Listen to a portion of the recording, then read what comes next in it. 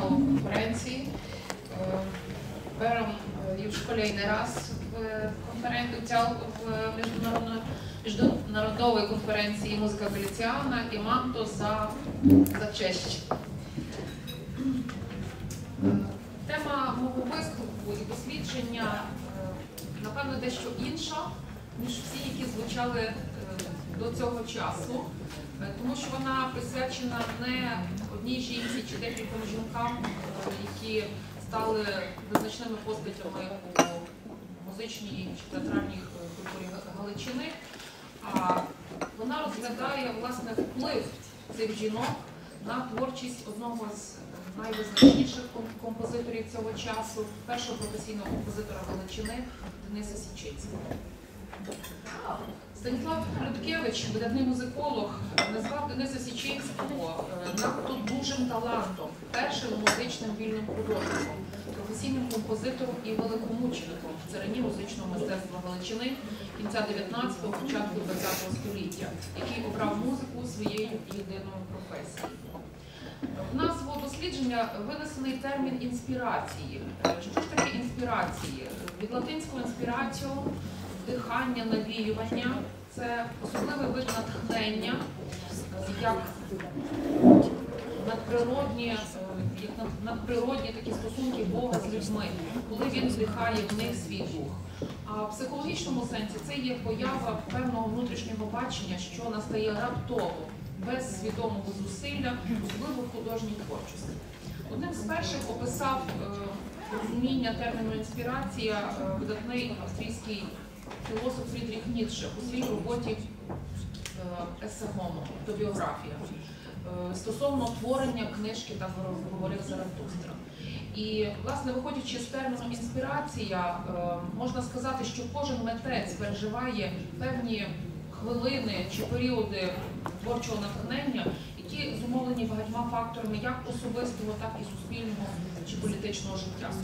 Рефлексіями, наслідками таких інспірацій постають твори, які позначені особливим емоційним, навіть можливо надто чуттєвим характером, що пізніше яскраво проявляється і у виконавській інтерпретації цих творів чи у їх сприйнятті. Борис Теплов писав, що з почуття повинно починатися справжнє мистецтво. Крізь нього воно повинно йти. Без нього воно неможливе, а лише, але лише ним воно не обмежується.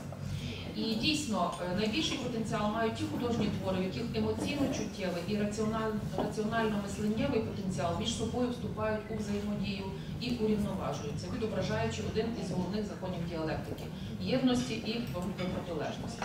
Тому, е, власне, досліджуючи творчість митця, зокрема Дениса Січинського, попри аналітичні сфери аналізу його стильових рис, формотворчих засад, важливим є вияв емоційних механізмів впливу на них, інспірованих різними подіями, що накладає відбиток на результат цієї творчості. Творчість Дениса Січинського, першого митця Галичини, який став на стежку професійної композиторської діяльності, продовжує привертати увагу дослідників саме необхідністю вияву цих безпосередніх інспірацій на процес його творів із жанрову, стильову і тематичну характеристику. І серед таких інспірацій сміливо можна говорити про жіночий слід творчості Дениса Січинського, який чітко простежується за такими трьома напрямами.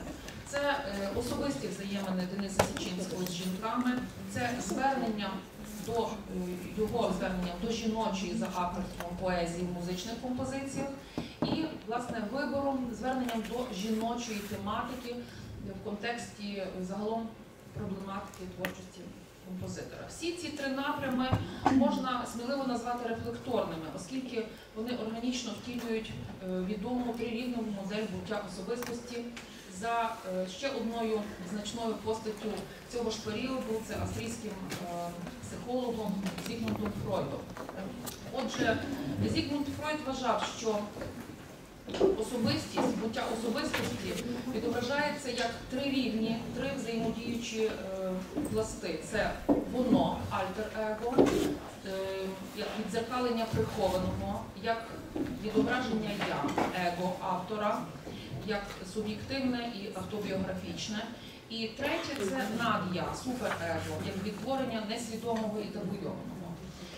Е, Можна вважати, що перший напрям є сповнений найбільшого рівня чуттєвості і емоційності. Другий его відображає вже більш логічно виважене ставлення композитора до вибору текстів, які би відповідали емоційній потребі музичного вияву. І третій рівень це більше мисленнєво-раціональний підхід до відображення вічних тем і образів. Е, Зауважимо також, що відповідно до е, теорії Карла Юнга, учня Зігмунда Фройда, прояви колективного підсвідомого, е, які виявляються в архетипах, тобто первинних образах, мають свої е, гендерні пари. Це, зокрема, аніма і анімус, що відповідає властивостям характеру особистості і допомагає урівноважити, збалансувати жіночі і чоловічі певні не лише в межах поведінкових стереотипів, але і у творчій діяльності. І можна впевнено сказати, що е, таким одним з головних архетипів творчості Дениса Січинського був була саме аніма, тобто жіночий прояв цього е, відчуття е, і сприйняття світу. Е, Говорячи про е, перший рівень, тобто про стосунки е, Дениса Січинського, роль жінок у його житті, можна сказати, що більшість цих стосунків носило емоційно-романтичний характер і мали вони безперечний вплив на вибір образів, е, жанрів його творчості. І важливу інформацію про такі факти з біографії композитора зберегла епістолярна спадщина Дениса Січинського. Е, Зокрема, у листах до Думи Нарожнякової, яку він називав найдорожчою приятелькою, є свідчення про його дуже серйозні і поважні наміри, е, заохочення її до е, музичних занять.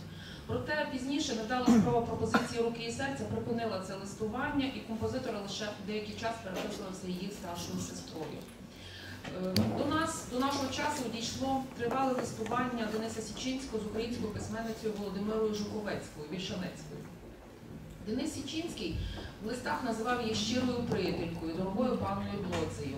Він часто згадував численні події зі свого життя, які свідчать про закоханості композитора, його мрійливість, доброту, відкритість серця.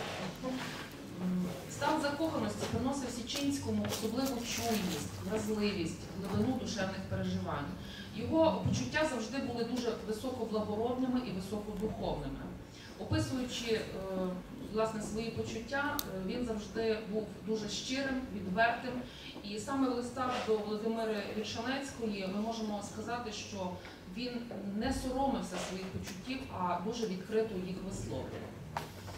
Е, Загалом емоційні почуття, зокрема стан закоханості, любові, е, додавав е, емоційного е, заряду для його життя і творчості. Він неодноразово це вказував, пишучи, що цитата як я сказав святу правду, я спосібний до творчої праці тоді, коли люблю. І от декілька цитат з листів композитора, які власне засвідчують особливий його стан закоханості, любові, коли він писав музику. Питаєте, чи ми, музики, пишемо лише собою відчути? Ні. У нас грає велику роль обсервація. Що обсервуємо, то на свій розсуд відчуваємо і вибираємо. В листі до Вільшанецької він пише: напишіть пані ще щось, але щось такого, де би була б лірика, але така, щоб хапала за нерви. Я напишу музику, але мусить то бути річ недовга, а форма викінчена. Чоловік без жадних обов'язків жив я з дня на день та не питав, що колись буде. Але цей зелений май наводить мені мимохідь на думку, що лише в природі по весні слідує літо, але не в людей. І добре писав Гавелевич у своїм вірші, віршу, вірші Бабине літо, до якого я доробив музику. Те, що вмерло у грудях, те весна вже не збудить, не кохані. Е, В одному з листів е, Денис Січинський згадує про свою першу любов. У 1888 році жила в Коломиї одна людина. Була це моя перша любов, була дуже музикальна, тож я компонував для неї на інструмент, на котрім вона грала велику масу творів, і котрі в кінці зібрались в поважну книжку. Всі мої перші композиції були такі добрі, як добрих я більше ніколи в життю не писав. Виглядів не було найменших, але людські язики працювали з здвоєною енергією. І я вивтікав, хоч серце рвалось, вивтікав світ захочу. І одне з останніх кохань Дениса Січинського він описує надзвичайно емоційно і щиро. Я залюбився шалено. Так лише я і подібні мені люди залюбитись можуть. Залюбився на схилку мого життя, бо в 41-му році віку. Це чистий, хоч не менш болючий шкандал, і я сам себе встидаюсь за теї. По взаємності і мріяти мені не вільно, і дівчина ся ніколи не дізнається від мене у моїм чувстві. Тим більше, отже, буду терпіти. А позаяк мужчина з моїми павутиння тонкими нервами, з моїм способом думання, а в додатку, будучи у моїх літах, така любов є дуже небезпечна і вбиває душу і тіло. В листах до Вільшанецької він неодноразово вказував, що чую, що ви одна людина на світі, перед котрою може вільно зі всього висповідатись. І це незважаючи на те, що вони не були близькими знайомими, хоча він був надзвичайно дуже відвертим у своїх е, листах до неї. І остання цитата Дениса Січинського: ціле наше життя це мусить бути менше або більше концертово відіграна комедія. Така емоційна душа композитора спонукала до дуже прискіпливого його підходу до вибору поезії творчості. І не випадково серед лірико-драматичних поезій словоспівів Січинського, написаних на вірші його сучасників, ми бачимо жіночу поезію. Е, В той час, ем, в період життя Дениса Січинського, е, на літературну аро- арену виходять дуже потужні постаті, е, які саме постаті літераторів жінок. Це Ольга Кобилянська, Леся Українка, Уляна Кравченко. Їх громадянська і інтимна лірика не могли залишати байдужими і композиторів. Важливо, що саме в цей час відбувається не лише представлення жінок в літературі, але і у виконавчій діяльності, у музиці, у театрі. Е, Любов Олександрівна Кліновська, професор Кліновська сьогодні згадала одну з е, автобіографічних повістей Ольги Кобилянської «Царівна», в якій власне показано дуже складний шлях жінки до своєї професійної реалізації. Е, У творчості Дениса Січинського е, ми маємо такі надзвичайно яскраві зразки, е, написані на е, вірші поеток і його сучасниць. Е, В першу чергу це е, вірш Уляни Кравченко Кілько думку переснилося. Е, Написана вона була у